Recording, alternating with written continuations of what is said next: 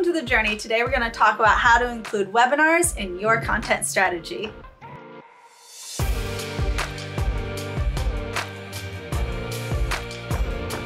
When the COVID-19 pandemic started, it wreaked havoc on small business owners, and you've likely been thinking a lot about how to increase your revenue in your online businesses too. And with the continuing uncertainty of the times, it's more important than ever to offer maximum value to your clients while improving your bottom line. And with that in mind, adding webinars to your content strategy might be the next logical addition to your online business. And we want to share with you everything that we've learned about how to successfully integrate webinars into your sales funnel. Yeah, I mean, for me, webinars has been part of my life for five years. And I gotta say, when the pandemic happened, I didn't know if that interest would maintain the same or increase, and definitely have seen it to be very valuable to educate entrepreneurs during this time because small businesses, just like yours, still need the information and the education that we were providing. So I encourage you to take this time while people are online now more than ever to reach them with this channel, the webinar channel. And definitely record them too, because that way, if people can't join in live, uh, one thing we do is we send them a copy of that recording if they registered. I love that. And one thing we always like to do with these videos is start off with the why. So, why webinars? Well, to start, users love video content. And I'm a mm-hmm. huge statistics guy, so let's let's do a stat. According to WordStream, 51% of marketing professionals worldwide name video as the type of content with the best return on investment. They also said viewers retain 95% of a message when they watch it in a video compared to 10% when reading it in text. And that is incredibly powerful. And it's a lot more entertaining to take in a video than it is to read a long blog post pitching a product. And this is especially true when your audience is getting the chance to learn something new. Absolutely. And another thing, webinars provide value to your customers. People want to solve their problems, and good webinars help them achieve some pretty quick wins. And while you don't have to give away all of your secrets, don't do that helping your customers with something for free makes them wonder what they would receive by paying you. Yeah, absolutely. And it helps you prove your expertise, prove your chops. Let's let them know that you have what it takes. Imagine having a captive audience to share your knowledge with. That's what a webinar gives you. You have 15 to 45 minutes to dazzle them with how much of a professional you are. And this is critical if you want to turn a prospect into a customer.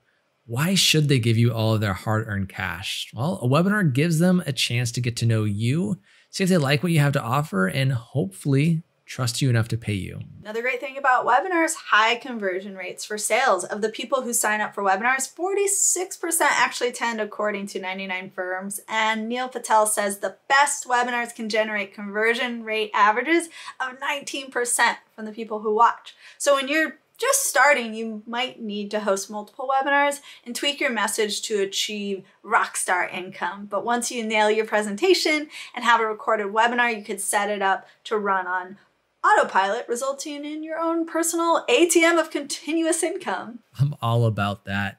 But say you're doing webinars, you're about to do webinars. How do you take your webinar from good to great? And I think it starts off with not assuming you know what your customers want or need. And this one is critical.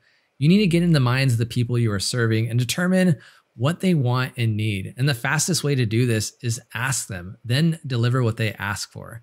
Now, a super popular way to do this is by creating a, what's called an ask campaign.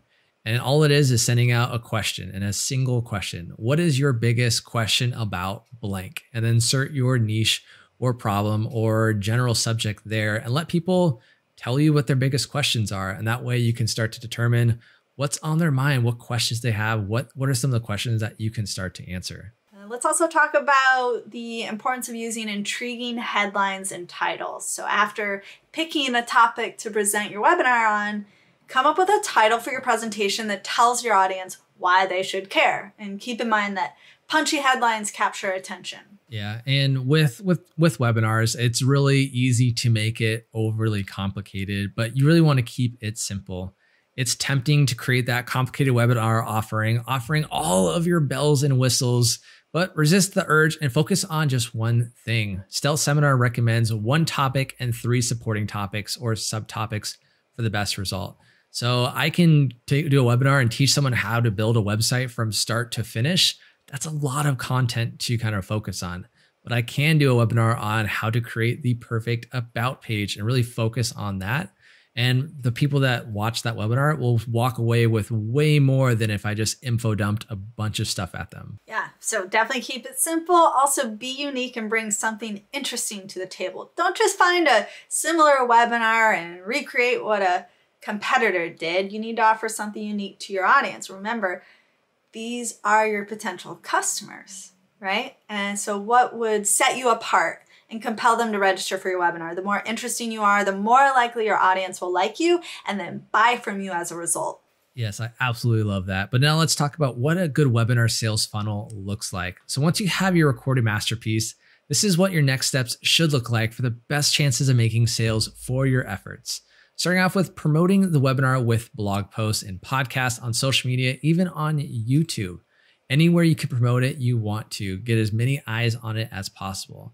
All your promotions should lead to a webinar registration page that explains what the viewer will get out of the presentation. And bonus, when they register, they will give you their contact information, which you can use in email marketing later on in your customer nurturing journey. Yeah, once someone registers, they should be redirected to a thank you page that includes the date and time of the webinar. And if you're using an automated webinar program, your thank you page could redirect to your website or your webinar link to play the presentation automatically.